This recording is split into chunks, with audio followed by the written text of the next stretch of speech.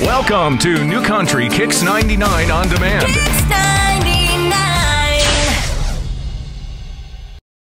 All right, here we are, Nashville, Tennessee, getting ready for the 49th annual CMA Awards coming up Wednesday night. Mr. Chris Young, how's it going, brother? It's going well, man. Uh, less than two weeks till my new record comes out. That's exactly what we were just about to talk Yeah. about. How, are you getting nervous? You getting excited? I'm excited, dude. I we started working on this project a year ago. Yeah. like literally the the first day in the studio, not not the writing process, Right. actually recording it was last November. So.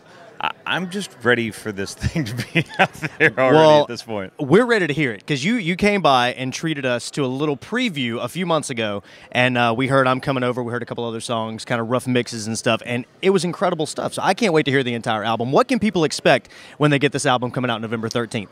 You know, I- obviously with it, the the title, the tour, everything. I'm coming over. I mean, if people dig that song, they're they're probably going to dig how this record sounds. Um, this is my first time co-producing, so there, there's a lot of stuff that we did differently that I, I haven't done in the past. You know, I'm not really known for having a lot of people come in and guest on a record. Right. And you know, listed or not, there's a lot of people that came in and were a part of this project. There's a Right. duet with Cassadee Pope on the record called "Think of You." Um, Vince Gill came in and played on a song called "Sober Saturday Night," and even the stuff, like I said, that's not listed.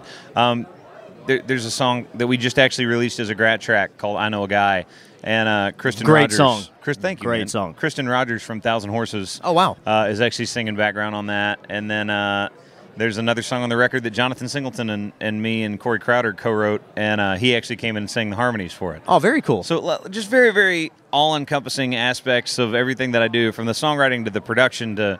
th- There's just so much stuff that's different, and so a lot of stuff for people to dig into. What I'm looking for, what I got to ask you now is I know it's very hard to pick a favorite, but do you have a favorite Oh, God. song on this album? See, ah, I mean, you can't go single because Right. that feels like a cop out. Yeah, exactly. So like, uh, let's exclude that one.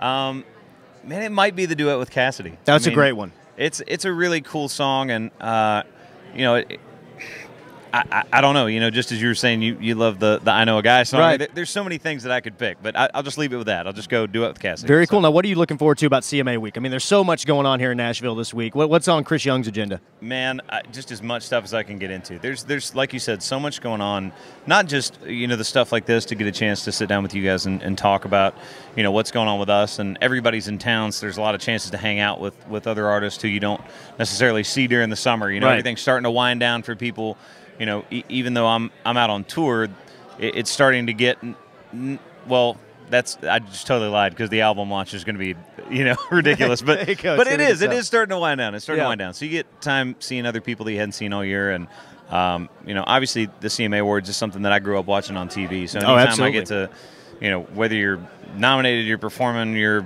walking the red carpet, and just hanging out in seats, like Yep. being there and being a part of it, it's, it's really really special. Well, very cool. We're looking forward to the album coming out. I'm coming over November 13th. Can't wait to get it. Chris, thank you for stopping by, man. We appreciate it. Thanks, man.